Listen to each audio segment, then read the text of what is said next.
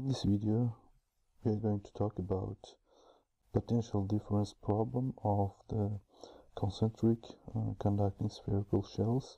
So this problem is taken from this book, chapter 7, uh, problem number 65. The concentric uh, conducting spherical shells carry charge q and minus q respectively. Inner shell has neg negligible thickness. So what is the potential difference between the shell? Here is A is radius of the inner shell, B is the radius of the outer shell.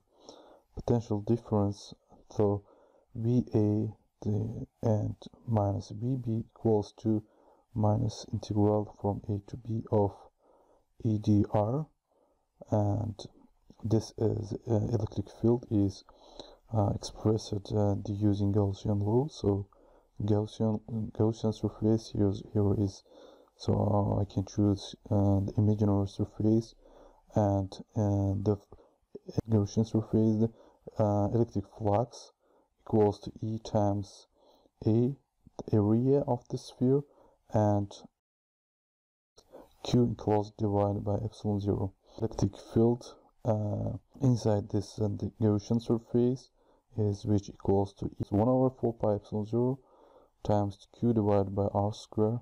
So the, if I want to write as a vector so I need to use your unit vector r. And so the potential difference equals to 1 over 4 pi epsilon 0 so here is I'm substituting e by this expression. And 1 over 4 pi epsilon 0 q divided by r square times r unit vector and dr potential difference equals to minus q 4 pi epsilon 0 so integral from b to a of r r dot r dr divided by r square.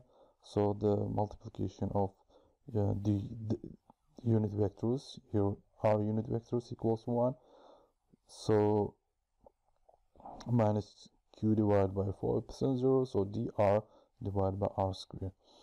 So integral of the dr over r square is equals to 1 over minus 1 over r. So from b to a. So if i substitute r by a and b so we get the potential difference. So minus q divided by 4 4 pi epsilon 0 minus 1 over a minus minus 1 over b. After simplification, we get the potential difference uh, VA and VB is equals to Q divided by 4 pi epsilon 0 1 over A minus 1 over B.